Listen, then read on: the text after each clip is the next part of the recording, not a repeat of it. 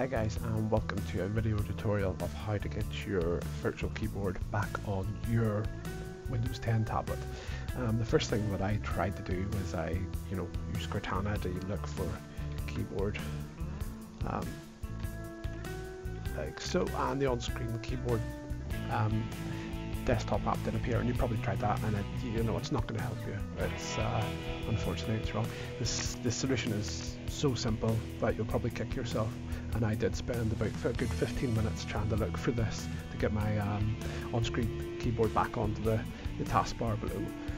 So all you needed to do was either touch and hold down your taskbar if you're using a, you're using a tablet of course or right click and then go up to show touch keyboard button click on that touch that and then see your keyboard will reappear on the screen allowing you to use it in Windows 10 again. Uh, I hope this helps and uh, stay tuned for more video tutorials. Cheers. Bye